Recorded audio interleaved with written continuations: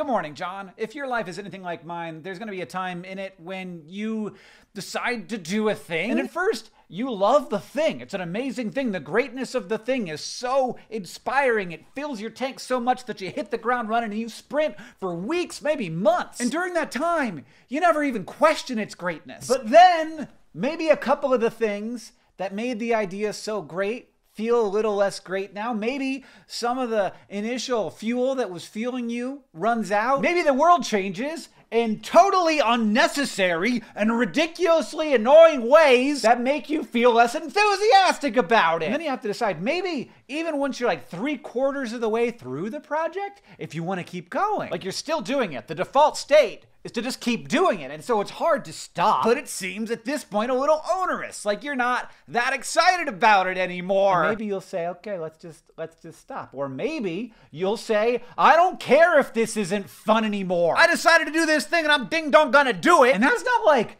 good. That's not stick to itiveness. That's not perseverance. It's stubbornness. It's simply saying, like, world, I don't care if you don't want me to do this. I don't care if nobody likes it. I don't care if it's not a good idea anymore. I said I was gonna do this thing, and you can burn down around me, but I'm going to keep hiking up this hill, even though it's hot, even though I don't like it, even though I'm not sure why I started in the first place or what I'm gonna see when I get up there. But then, even when you're being driven by pure stubbornness, and not any kind of relentless fortitude, not the hustle that everyone says you need these days, but just because you said you were going to do it. Then maybe you find something. You find something new, something interesting, something inspiring. You learn something about yourself. Even if you should have given up long ago, you find some insight, or the world changes again and the idea becomes good. And then you'll be like, see?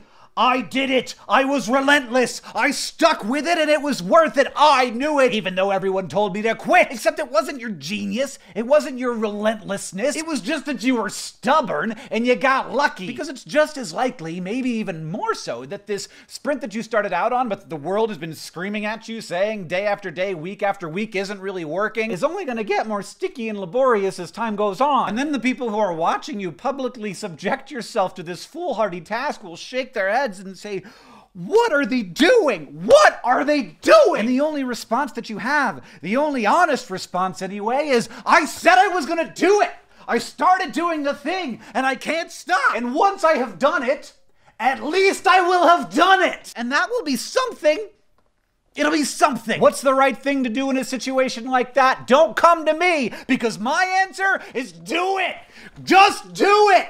I just keep going until you're done. As long as there is an end date, as long as it's in sight, keep going. Even if it makes no sense, even if you don't really like it anymore, you never know what you're going to learn out there. You never know what you're going to see. And at the end, at least you will have done it. Anyway, John, this is just something I've been thinking about. Not really applicable to anything in my life right now, but certainly something I've been through before. Maybe it'll be helpful to you or somebody else watching. Good news the second episode of Bizarre Beasts, if you're missing that here on Vlogbrothers, is up on the youtube.com slash bizarre beasts YouTube channel. It's hosted by Sarah Suda and it's about the Hoatzin, which is one of my favorite birds. Also, Orin's favorite YouTube show, SciShow Kids, is coming back. You can find it now at youtube.com slash SciShow Kids with hundreds of episodes we've already uploaded, but new ones will start going live on Monday. And finally, James from Journey to the Microcosmos just got a new microscope, and it's so beautiful, it made me cry. John, I'll see you on Tuesday.